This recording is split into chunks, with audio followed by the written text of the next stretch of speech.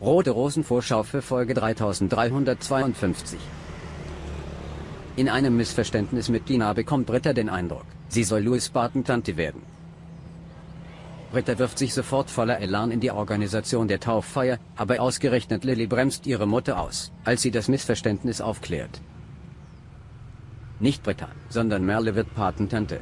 Simon kann nicht damit umgehen, dass Ellen und David nun ein Paar sind. Allerdings ist es nicht die klassische Eifersucht, es ist das Gefühl, von seinen Freunden ausgeschlossen zu sein. Tatjana leidet unter Saschas Entscheidung, bei Andreas in Münster bleiben zu wollen.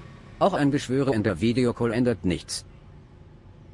Jens ist auf der Suche nach einem neuen Werkstoff.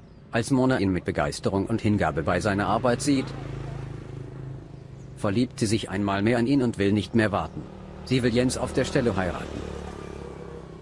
Ein Hacker bringt das Buchungssystem im Hotel durcheinander und Amelie zerreißt Glut.